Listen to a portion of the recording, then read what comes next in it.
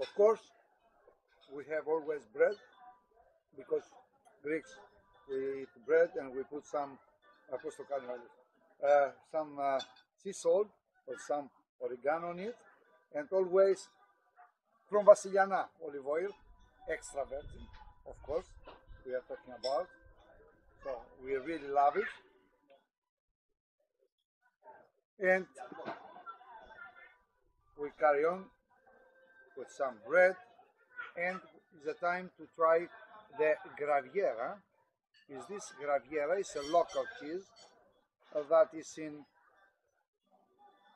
six months put it in extra virgin olive oil.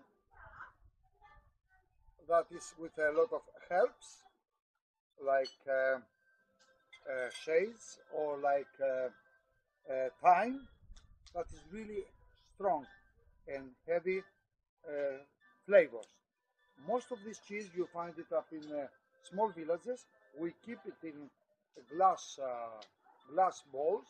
We fill it up with extra virgin olive oil. At least must stay inside six months.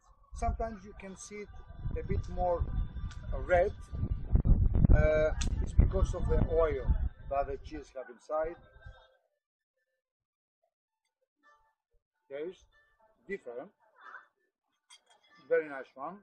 And always use it with uh, olives that this type of olives we call koroneiki